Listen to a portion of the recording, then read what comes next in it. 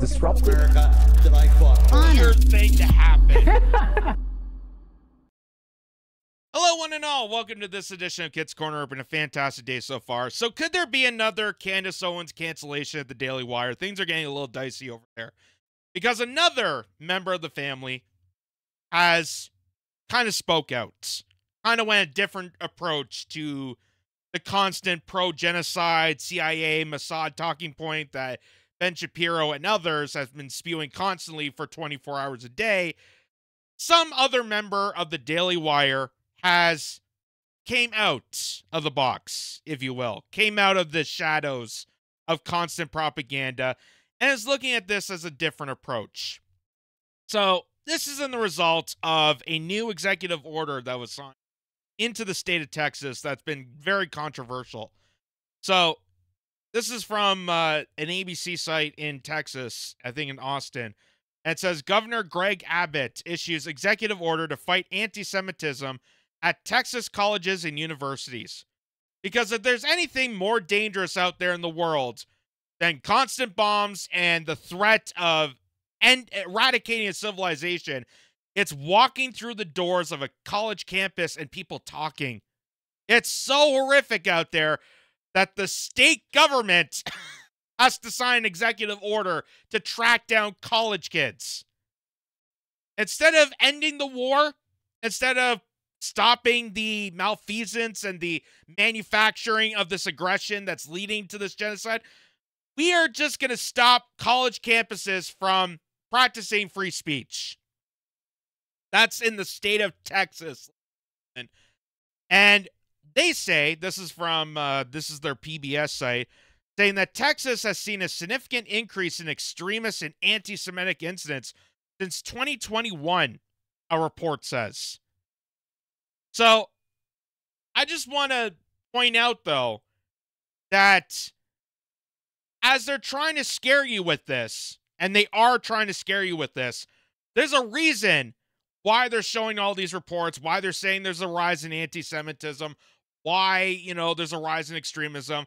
And we've seen this throughout the four, uh, four years now of the Joe Biden administration is that this is all fear mongering. This is all perpetual fear. They're manufacturing the aggression by saying that there's a bunch of anti Semites out there, there's a bunch of extremists, domestic terrorists, your neighbors, your friends, your family. They're all evil. They all want to, uh, you know, do wrongdoing in the world. While the people that are actually doing the most un, the most unlawful, awful, disgusting things imaginable, get away with this. The people that are actually engaging in the mass slaughter of people get away with this because they're publishing articles saying that other people in your community are are anti-Semites and, and extremists and they're white supremacists and they're racists. That's all a trick. That's all a distraction for you to get angry at your family members, to get angry at members of your community, and not the people that are actually doing the worst thing imaginable. So because of that, um, Matt Walsh, who's a contributor at the Daily Wire, I do believe that is the guy who did that documentary. Um, what is a woman? I think that controversial documentary about uh, transgender and um, I, I I've I've never seen it.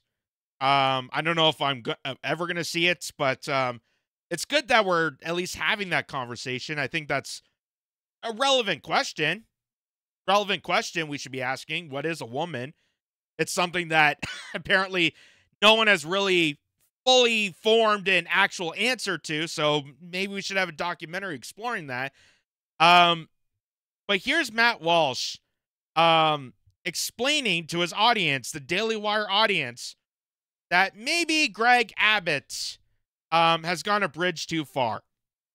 That maybe canceling out college kids from their ability to practice the First Amendment and their ability to uh, free, freely assemble and protest is a little too much for the supposed independent state of Texas. Watch this.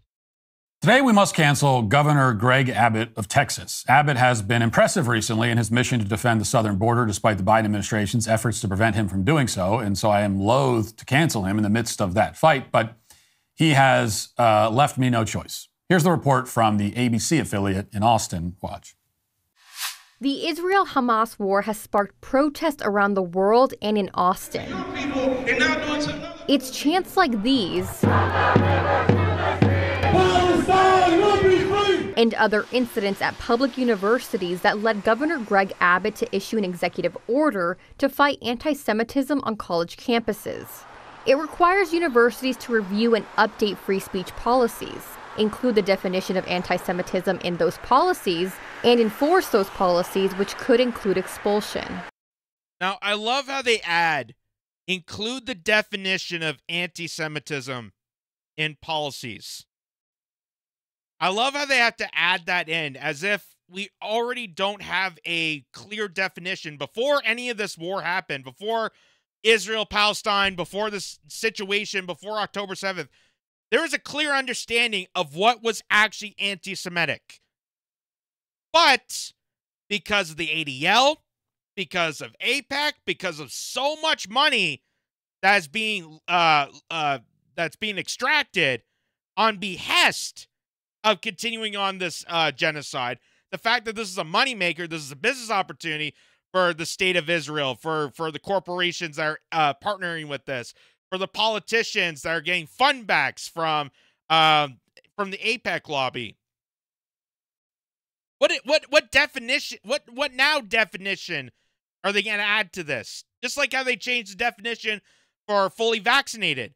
It used to be that fully vaccinated there was a clear definition. But then they changed that when COVID came around because they wanted the propaganda. They want people in constant fear to move along to their agenda, just like how they're doing here. So they're going to change the definition of what it actually is to be anti Semitic, which we know that the ADL has changed the goalposts frequently to, again, perpetuate people into their propaganda. and review and update free speech policies. This is just unbelievable.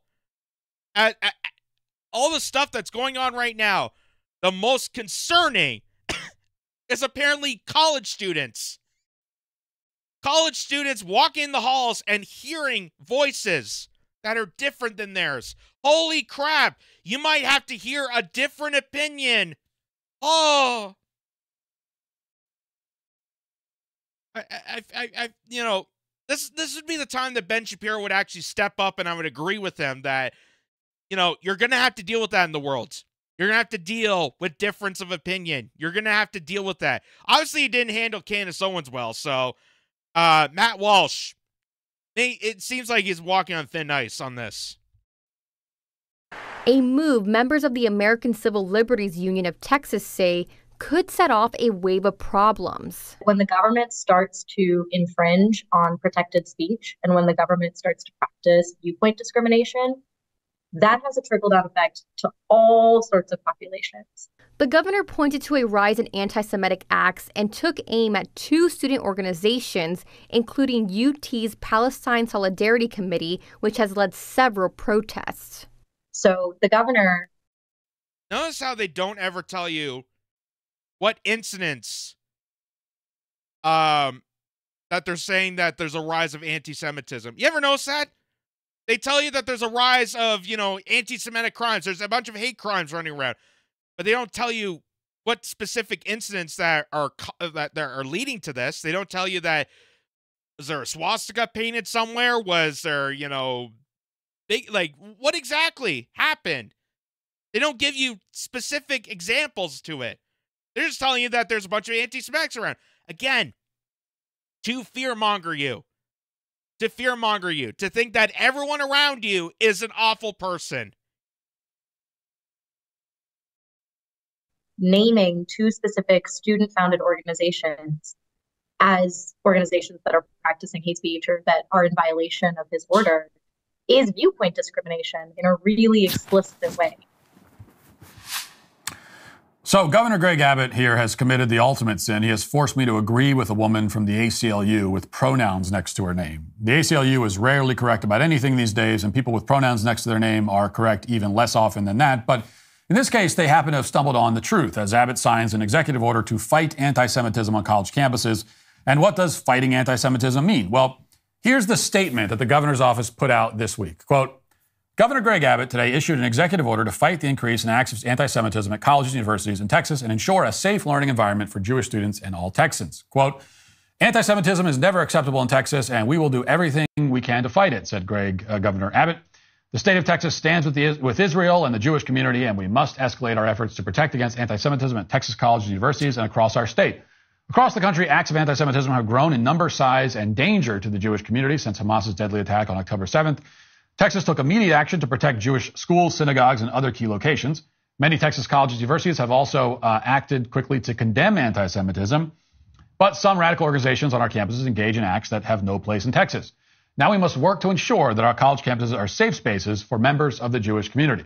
The- Again, no no criminal examples, no no details of what is actually um why they had to put this bill together. Are there actually horrific scenes that are, are, are a cause to why we need an executive order to snap down on students' rights of free speech? Like they're they're stating that there's so much anti-Semitism rising and going around. What where where exactly? Are people saying bad words? Are they like there's no there's no clear definition of what led to this. It's just the fact that they want, oh, we need a safe space for the Jewish students of Texas, and Texas stands with this. So it sounds it sounds like this is ADL marketing that AIPAC is leading in, that they're trying to force this down to the university and college campuses. Because again, a lot of young people, and this is one of the reasons why they're trying to ban TikTok and other social media platforms, is because young people are witnessing firsthand what's happening over there.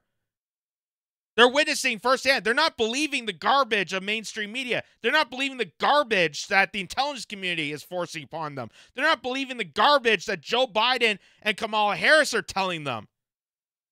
They're able to look at their phones and go, oh, wow, there's actually a genocide. And that has nothing to do with the Jewish race. That has nothing to do with the Jewish faith. And in fact, the most people that are against the state of Israel and the war crimes that they're committing are actually Orthodox, Orthodox Jews. And they don't ever point that out. There's more Jewish voices that are against this genocide than there are for it. What? Where's that statistics? Where's that? Where's that going to be placed uh, uh, upon these news articles? Are are they gonna are they gonna actually address that? But anyway, here's more. the governor's executive order requires that all higher education institutions in Texas review their free speech policies to establish appropriate punishments for anti-Semitic rhetoric on college and university campuses, ensure that policies that address the sharp rise of anti-Semitic acts are enforced, and include the definition of anti-Semitism in free speech policies. Oh my God. So, this is an executive order targeting what he describes as anti Semitic acts and rhetoric. In fact, he is ordering colleges in the state to establish appropriate punishments for this rhetoric, which he deems anti Semitic. And he says explicitly that these offensive statements must be shut down so that college campuses are safe spaces for Jewish people. And again, they generalize rhetoric. They make it so vague in general that anything, anything they can put down and say is anti Semitic, just like how here in Canada, they're creating laws that are saying that they're stopping the rise of hate speech. Well, hate speech is not a specific term, it's a generalized term. Nobody knows exactly directly what is hateful and what isn't. And they do that purposely to weave out so that they can have the, open the floodgates and, it's anything that they disagree with, anything they don't like, they can permit it as hate speech. They can go against you. Just like here, they can say anything is anti Semitic and go against you. Even if that has nothing to do with Jew- Judaism, has nothing to do with the Jewish faith, nothing whatsoever. Other than the fact that you're pointing out that country A is doing a genocide to country B which is the most basic common knowledge that everybody is witnessing. That's why there's so many of these protests worldwide, except for the United States politicians and the elites that are getting paid by the Israeli lobby, that are being blackmailed by the Mossad agents. Now, I seem to remember Republicans spending the past, I don't know, 10 years complaining about the safe space mentality on college campuses. And now we, here we have the, yes. the Republican governor of Texas issuing an executive order commanding college campuses to be safe spaces. So we seem to have lost the plot here somewhere along the line. There are a lot of reasons why governors should not be issuing. Oh, man. That's the kicker of this. That's the kicker of this. They spent over a decade over a decade. Even the Daily Wire, even Ben Shapiro, has spent, I would say, majority of his career talking about, hey, you're you won't get a safe space, uh, safe space in college. You have to you have to deal with the real world, and in the real world, there's going to be difference of opinions. There's going to be controversy. There's going to be people that are going to think differently and have a different viewpoint than you. You're going to have to deal with it and you're going to have to be a grown up and act like a civilized adult. They spent over a decade telling people that. And here they are at the flip of a hat because now it's about Israel. It's a war that they actually do like. So now we got to flip the hat and go, oh, God. Now we got to create safe spaces. Now we got to make sure that one protected group of all the students in, in a college campus, make sure they're the top priority. oh, gotta love hypocrisy. Executive orders to combat anti Semitism or any other form of bigotry, but I'll focus on just three of those reasons. First of all, violence, vandalism, threats, and deliberate incitement are already illegal. Now, some have defended this executive order by arguing that its, its real intent is to crack down on these you know, sorts of crimes that are committed against Jewish people. But again, these are crimes. They're already illegal. If they're happening anywhere in Texas, whether on a college campus or not, the state already has all of the authority it needs to arrest and prosecute the culprits. You don't need to make an illegal thing even more illegal. You don't need an executive order making it extra illegal. Just enforce the laws that are already on the books. Yep. So, if, say, somebody's vandalizing a synagogue or assaulting a Jewish person or explicitly calling for violence against Jews, they can already be arrested this order will do nothing to stop or punish those crimes because they already have the laws in place to stop or punish those crimes.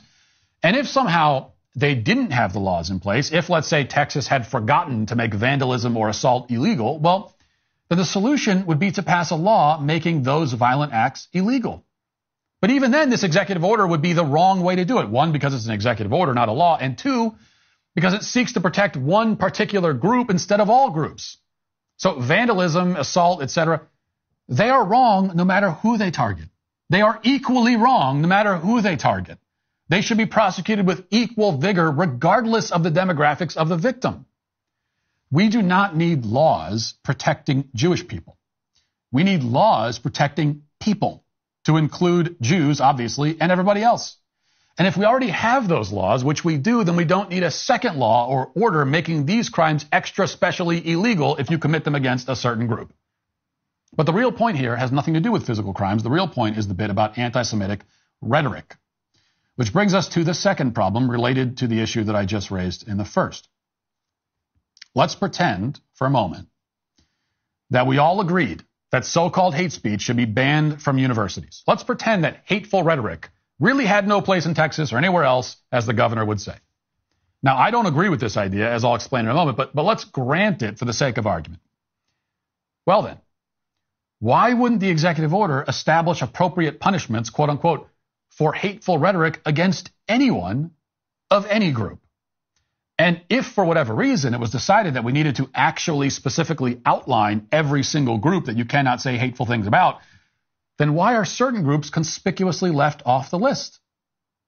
It is rather hard to imagine Greg Abbott ever issuing an executive order calling for punishments for anti-white rhetoric on college campuses, in spite of the fact that anti-whiteism is not only incredibly pervasive on every major university campus in the country, but it's also part of the curriculum. Students are forced to listen to anti-white screeds in the classroom from their professors. Every hateful thing imaginable has been said on college campuses about white people by staff, by administrators, by professors, let alone also, of course, the students. Yet, to my knowledge, Greg Abbott has never issued an executive order addressing that. Why is that?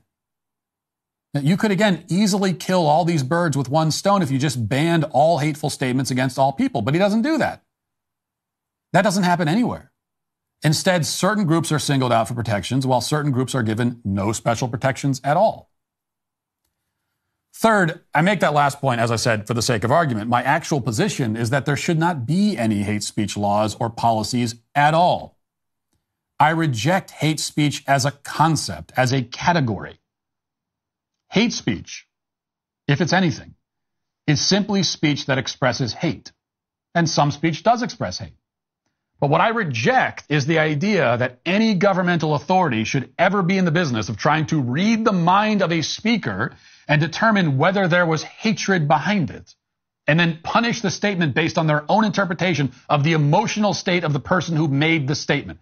I reject that completely. I also reject the idea that any form of rhetoric at all should be banned or punished on college campuses. Threats and incitements are already illegal, as we've established.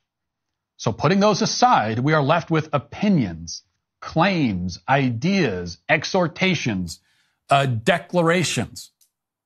And as for those, even if they're wrong, even if they're baseless, even if they're offensive, even if they are, yes, hateful, they should not be banned or punished, and they certainly should not be the subject of an executive order from the governor's office. We cannot pretend to care in the slightest bit about free speech if we are banning speech on the basis that it's hateful towards protected groups. This is not just an infringement on free speech, it is the total eradication of free speech. Because after all, the only kind of speech that really needs legal protection in the first place is, is, is the speech that is deemed hateful and inappropriate by the powers that be.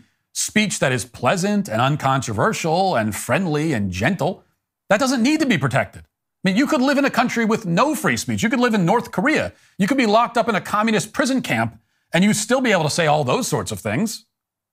So when a person in power says, you have free speech, unless it's speech that I find to be really inappropriate personally, that's another way of saying that you don't have free speech. And this point, I would think, is obvious. So it looks like Matt Walsh's days are numbered at the Daily Wire because he makes such great points. And I never thought I would actually agree with members of the of the Daily Wire. Um, you know, there's things that I like about Candace Owens, there's things I dislike with Candace Owens. There's things I like about Matt Walsh, there's things I disagree with. Um I, I can't think of the other names. Uh I think Cooper was Brett Cooper uh being one of them on there. Um, and that's the joy of hearing different opinions. And this is why I'm a free speech absolutist. This is why I've defended the principle, the principle of free speech, because that's what it is. It's a principle.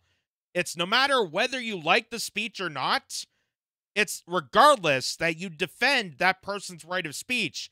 Because how do they differ, uh, have different rights than you as a person?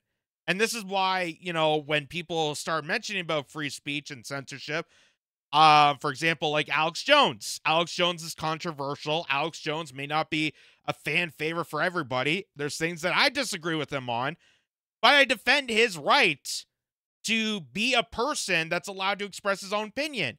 Because why is that different from me? Why is that different from you? Why is that different for somebody else? You can't cookie cutter and pick and choose who gets free speech and who doesn't just because you don't agree with it. And the biggest the biggest reason you should be fighting for free speech and the biggest loudest voice uh to, to defend free speech is the people that are uh, that have a different opinion than you. The people you really don't like, you should be defending their free speech. Because if everyone likes the same thing, then there's no need to defend it. But if someone thinks differently or I have a different viewpoint, or if I think that opinion's a little too much, I'm not going to uh, silence them out. I'm not going to cancel them, but I will defend their right to say that opinion. So that has been my case across the board. And like I said, and you know, and he brings up the other point too of we already have laws. We already have laws in place. Just like how I defended free speech. Because people will attack me and say, well, what about, you know, the hateful content? What about if it rises to violence? There's already laws in place that if you threaten someone with violence, if you're causing uh, a reaction to, to to manufacture some sort of aggression, there's already laws in place that will protect that. But to go an extra step further to ban opinions on college campuses or social media or news like the censorship it has gone amok. And the more you keep creeping that door open, the more it's just going to floodgate to silence out everybody. And that is what I've said that, you know, you have to defend, even if you don't like Alex Jones, you have the principle to understand that you have to defend his right of free speech, just like if someone was trying to defend your right of free speech. That's the principle factor of the First Amendment. And that's what Matt Walsh is saying here. There's a principle involved with it. Why do they need an executive order to protect the speech and to protect and protect the people that are a tiny minority to the rest of the college campuses? And if they were gonna if they were gonna uh, put this law to, together, why are they not doing it for everybody? Why is it one specific area or one specific group, one specific uh, people that get this specific specific treatment beside other people? So it, it, it it's it's just the most basic understanding of the principle of free speech. And I just know it's not going to sit well with the Daily Wire, with Ben Shapiro, um, who again have been parroting uh, Mossad quotes, have been parroting the um, the intelligence community and and and and the rest of the rhetoric uh, that you see 24 hours a day by the mainstream establishment that is brought to you by uh, AIPAC lobby and Israel lobbies and uh, the blackmail of Mossad agents. Like it's it's just crazy. And here we are demonizing people on college campuses for practicing their principled right of free speech. We're going after college students for basically an assumption because there's no real criminal case. There's no evidence to back the claim that there is these anti-Semitic, you know, hateful bigots out there. And like and like Matt Walsh said, if there were, they would already be punished. They would already be pr- criminally prosecuted under the law. But they don't have that. So this is just another generalized censorship tactic to go after uh, voices for Palestine who want to stop the genocide, who want ceasefire, and silence them out to push the war agenda, to push the military industrial complex, the AIPAC lobby, and the Israel and, and the Israel intelligence board to push their agenda to allow this genocide to happen. And if we really gave a damn about hate speech, if we really gave a damn about protecting people from from one person's speech of violence and hateful rhetoric, then why aren't politicians on that list? Why isn't this why is the CIA have social media accounts? Why is the FBI have social media accounts? Because I know that they're posting hateful, bigoted rhetoric. I know that they're pushing division and sowing uh sowing uh you know violent acts towards individuals. Why are they allowed to have social media accounts but college students aren't allowed to peacefully protest about a uh, about this topic. So, there's a lot of flaws to this. And Matt Walsh perfectly points it out. Which, unfortunately, when you point something out like that at the Daily Wire with Ben Shapiro, it seems like you just, you know, you're on very thin ice. And I you know, Matt Walsh, I don't really know you, but um, I'm glad you spoke up about this, and uh, we'll see how it goes. We'll see how it goes because this is apparently how Candace Owens uh, frantically, you know, got kicked out of the club. And Candace Owens, you know, I, I assume, I don't know the exact wordage that got her canceled, but I'm assuming it's something like this. I'm assuming it's as simple as the notion of genocide is genocide, you're mass slaughtering people, and the fact that we have governments and state governments implementing laws that are oppressing First Amendment rights to college kids rather than stopping the bloodshed overseas is just absolutely barbaric. It's just absolutely ridiculous. And Greg Abbott knows this. The, the, state of Texas knows this. Even the college campuses know this. How stupid this is.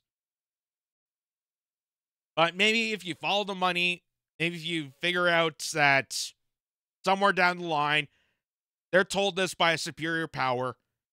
And this just seems like another authoritarian move done in the spirit of protecting Jewish citizens or Jewish students at these college campuses and pledging their support for Israel, which is, you know, pledging support for Israel. I love how they say support. Like it's a like it's a college team. Like you're supporting a football team. No, you're you're advancing a complete slaughter, a complete massacre of a civilization. That doesn't sound like supporting. That doesn't sound like good nature. But if you tell that to people, you're considered hateful compared to the people that are actually causing the actions of mass violence. That's just this twisted, sycophantic world that we're in.